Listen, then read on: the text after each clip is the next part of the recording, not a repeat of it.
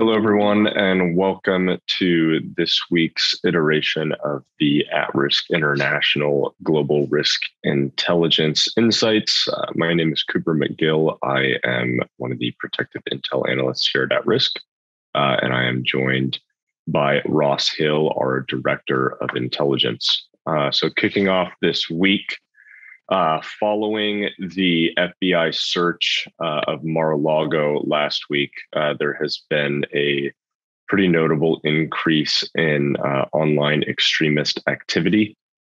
Uh, the FBI and the DHS actually issued a joint bulletin on the matter that was released internally, as well as to a number of other different law enforcement agencies and, and government organizations.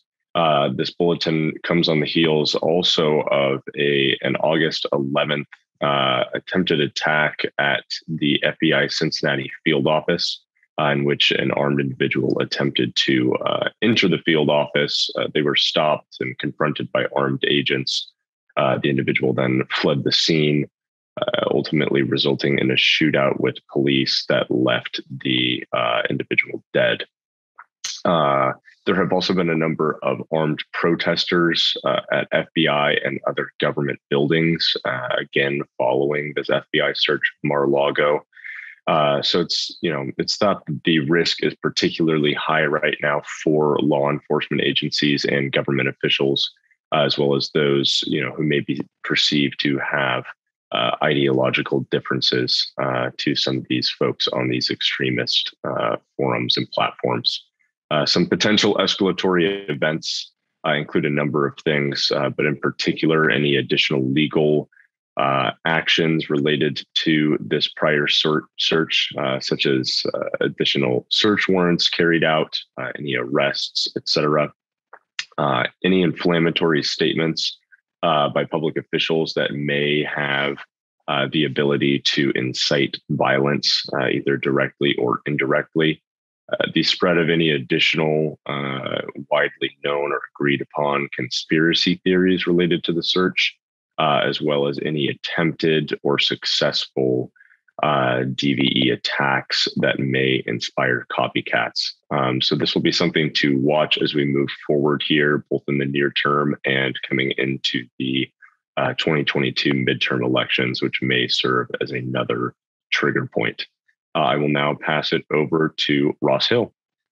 Uh, thanks, Cooper. Uh, so, author Salman Rushdie was uh, stabbed several times whilst on stage at a literary, literary festival in New York State. Uh, Iran's supreme leader uh, had issued a fatwa to kill Rushdie over 30 years ago because of what he deemed blasphemous nature of a book called The Satanic Verses that Rushdie wrote. Um, and then over the years, the bounty for killing Rushdie has actually risen to over $3 million. Uh, the suspect in the attack appears to have sympathies towards Iran. Uh, he reportedly posted pro IRGC messages on social media platforms. He had a fake driving license in the name of Hezbollah's leader, Hezbollah being a US designated terrorist group linked to Iran. Um, but Hezbollah and Iran deny kind of any direct links or knowledge of the attack.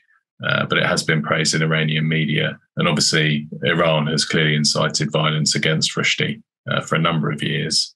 The attack came uh, a few days after an Iranian man was charged with plotting to kill former National Security Advisor John Bolton.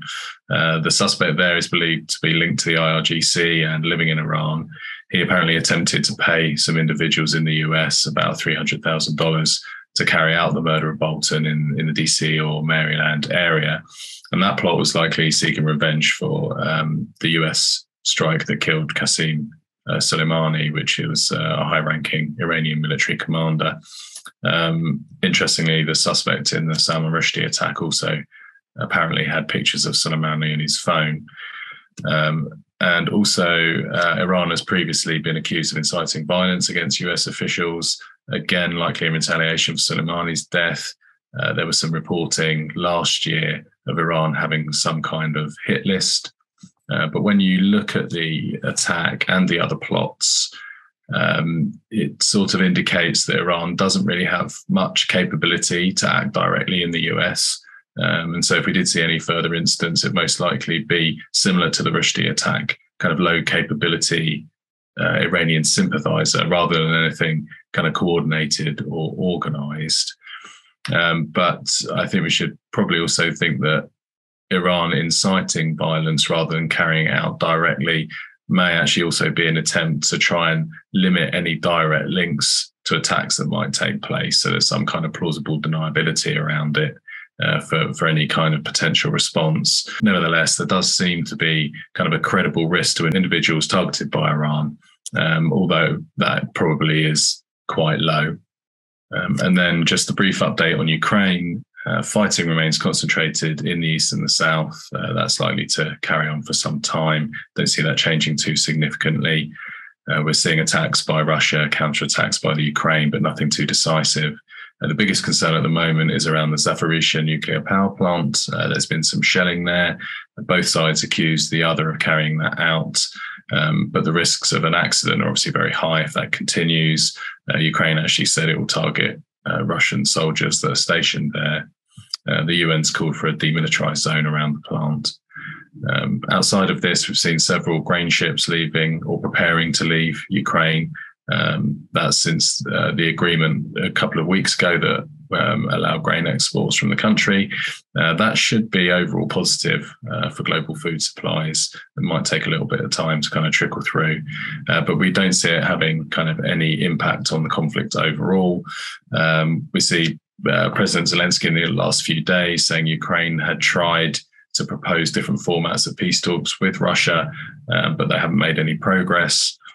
Uh, also, last week, China's ambassador to Russia called the United States the main instigator of the crisis uh, because of NATO expansion and said that Russian and Chinese relations were basically the best they had ever been. That's some of the strongest public support we've seen from China towards Russia.